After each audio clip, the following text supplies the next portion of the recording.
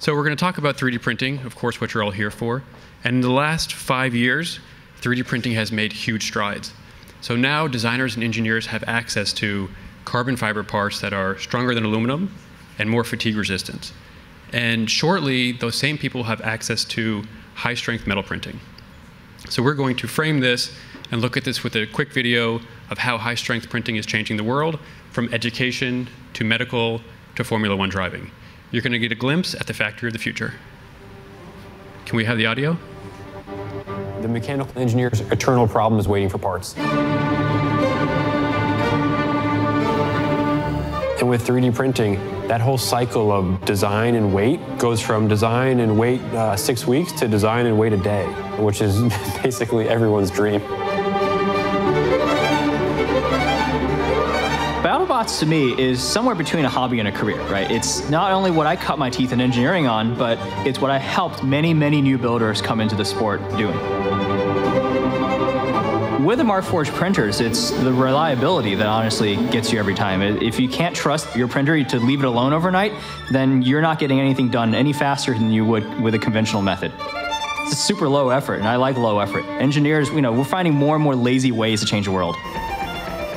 Somebody once asked me why we put so much effort into how the printer looked and how it was built. And my answer was if we don't care about how our product looks, why would you believe that we're going to care about how your part looks?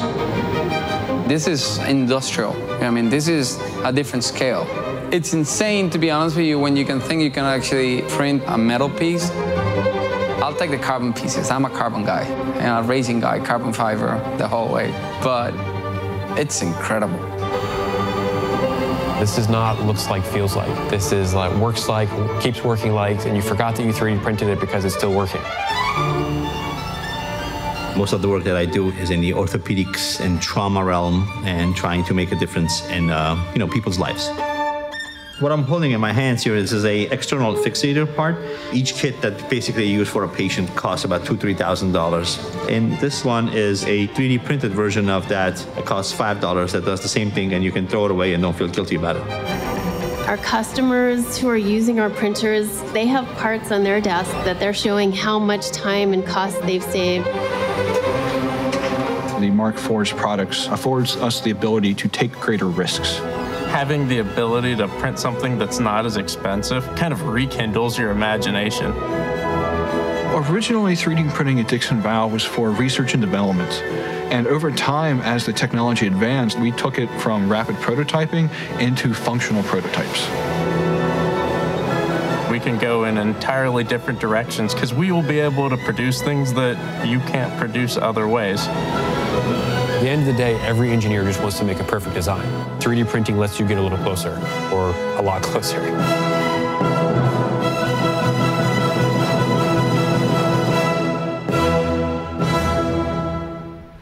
Thank you. Okay, so we're going to talk about when we say printing high strength parts, we're going to talk about the entire range of parts. So this is plastic, so nylon's reinforced with microcarbon fiber. This is continuous composites, so you have parts that are now 19 to 23 times stronger than baseline plastic. And this is metal, so this is tool steels, stainless steels, aluminums, titaniums, Inconels, etc. Right? And so you can have this full range of parts across an entire lineup of printers from an entry-level desktop printer, which is many people's first printer, to a carbon fiber desktop printer, uh, all the way up to an industrial composite printer, and now a metal printer.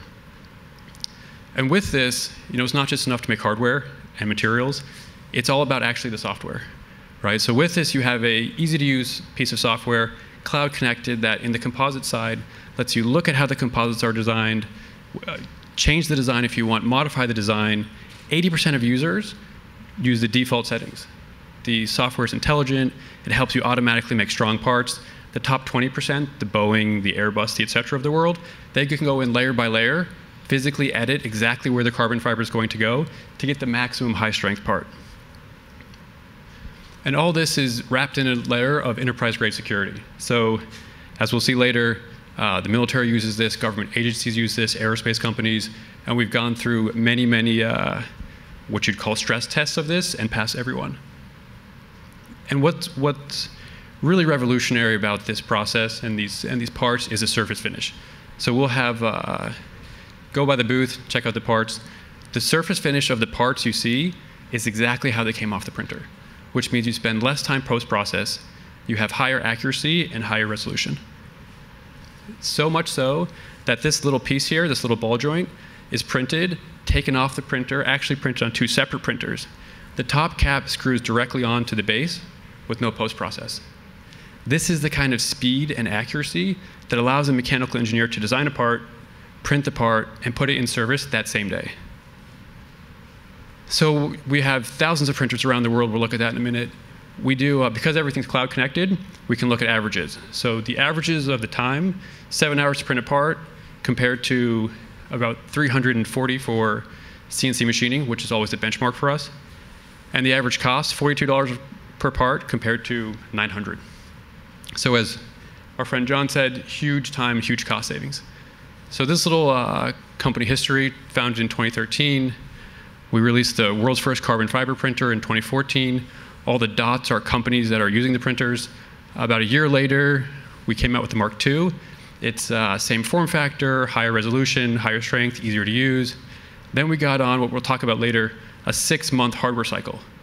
So every six months after the 2 came out, there was a new version and a better version. So then the uh, Mark X came out, the Onyx series, the Mark X being the industrial, Metal X ships in January, and here we are, so now the industrial series. So all these dots, which look kind of like a blur, are companies around the world using high-strength 3D printing, oftentimes for the first time. And then currently where we are, uh, 102 employees, growing at 300% uh, year over year, and uh, the, the Metal X, sorry, the Mark X, they're very similar, uh, has a net promoter score of 85. And if you're familiar with net promoter scores, uh, Comcast is negative. It goes from like negative 100 to 100. Comcast is slightly deeply negative. Apple is estimated to be in the 60s. Sonos is estimated to be in the 70s or 80s. We have on the uh, Mark X a net promoter score of 85, which we're extremely happy about. And that really underscores how easy it is to use and how easy it is to get high strength parts the first time. So this is uh, actually a three-year-old customer list. We've ran out of space, but uh, basically, as John said, 3D printing is used in every industry, right? Everybody who designs parts, who makes parts, needs access to those parts. So here's an example of an automotive customer. Every 12 seconds, a car comes off the assembly line. The, the biggest problem of line down failure for this customer was when the car comes crashing down onto the frame that drives it forward, there were four aluminum pins and those pins would cyclically fatigue and break. And when the pin breaks, you hit the line down button. That means your finance department is bleeding money and you're not making any cars. It's the worst thing in manufacturing. So with the Mark I, when the Mark I came out, for $5,500, a engineer on that assembly line bought the printer, printed the exact same part in continuous fiberglass. When he put it on the line, he told nobody because he was afraid he'd get fired. He ran that line for four months. The pin didn't break. Other pins around it were breaking, so he replaced the other pins on the cell. Ran that for another six months, and finally told his boss. And then they replaced the entire line with, with uh, fiberglass printed pins, and the number one cause of line down failure is gone. Okay, this is the very, very famous, if you haven't seen it before, 3D printed GE jet engine nozzle. The interesting thing about this photo is that the jet engine nozzle is being post-processed on a fixture printed on one of our desktop printers. Why do you do this? One of the things about aviation is you don't want to get scratches on your hardware because, again, cyclic fatigue, scratches lead to cracks, lead to failures. So you print a fixture that has continuous carbon fiber, so it's as strong as metal, but the outside is nylon. So it's scratch resistant, so it won't impart a scratch on your fixture. So all the post-processing, the inspection, the laser marking to get this revolutionary nozzle into flight is done on fixtures printed on desktop printers that cost less than $10,000. Okay, here's, uh, you're not supposed to pick favorites, but I do. Uh, here's an end effector for a uh, company in uh, Maryland, my hometown. Dixon Valve, they, uh, they were facing incredible price pressure from imported uh, couplings. Okay, so they hired two engineers, the two that you saw in that video, uh, who were amazing, and they went through and they took all these pieces that they used to CNC machine, and they bought 3D printed end effectors from a service bureau. They bought every material they could get. They run them through chemical tests. They ran them through life cycle tests. And then they called us up one day and said, yours were the parts that worked. So they are able to now retool this factory in a day. Now, when we talk about the entire range of parts, when you're making a coupling, you, when you want to, the, you know, for example, a fire hose coupling, you don't want to scratch the interface of the fire hose. On the back end of it, there's a thread. For high impact loading, you want metals.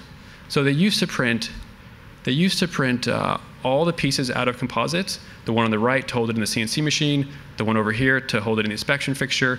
But the middle piece, when they printed in composites, only lasted 15,000 cycles because the point loading was too high. Now they print it in metal and they have the ideal solution for not scratching it in the CNC machine, not scratching it in the inspection fixture, and surviving the threats. They now have over half a million cycles on those metal end effectors. Okay, so most of you, uh, we were here last year. Most of the people seem to remember us. Uh, you're familiar with the uh, composite printers. Take a look at the way it looks. The metal printer is basically like the composite printer upside down, right? Uh, it's kind of funny that way. So in the composite printer, we do material handling on the bottom. On the metal printer, same thing, but the material handling on top. So we'll talk about metal. Okay, it's a very exciting time in 3D printing.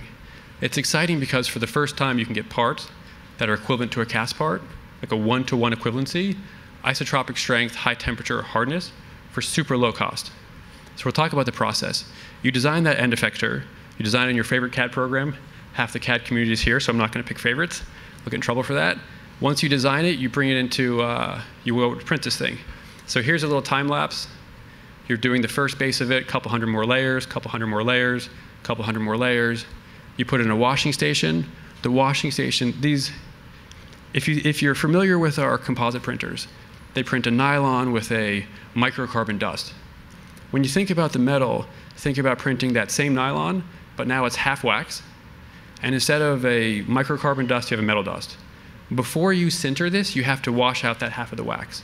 And what that does is it turns your part into a sponge structure that allows the rest of the plastic to vaporize in the sintering process. Then you put it in a furnace, you sinter it, it gets hot. Uh, here's the cool part. With this new process, you can create lightweight honeycomb structures. So this is a brake lever for, off my Ducati. The top one has the, has the top on it. It's the one I actually use. The bottom one is stopped part way, so you can see there's a honeycomb that runs through the entire lever. This is a stainless steel lever that's 60% air. It can be made no other way. Why does this matter? This matters because you can take this lever, you can print it, it's lighter, it has the hardness of stainless steel, but it has the weight of aluminum. Now, when you take that and you put it into an end effector, going back to Dixon valve, this end effector has the surface hardness, the temperature resistance, the fatigue resistance of stainless steel, but it's 60% lighter. What that means is that, and this is all slowed down so that the uh, surface plates can be off so you can put the camera in there. What it means is that what limits how fast this arm can move is the weight of that end effector. If you can make the end effector lighter, you can get higher throughput and you can make basically your factory more productive and more efficient, which is why we always talk about getting a glimpse into the factory of the future. And these are all the couplings. The beautiful part of this story is after Dixon Valve went and retooled with 3D printing, they were able to come out with a lower cost product at a higher margin. Now they're the low cost solution and they're making great margins. This is all about efficiency. So when we talk about metal, we talk about an end-to-end solution for the, an entry-level price of 125,000. That's the printer, the washing station, and the sintering furnace. Here's the thing.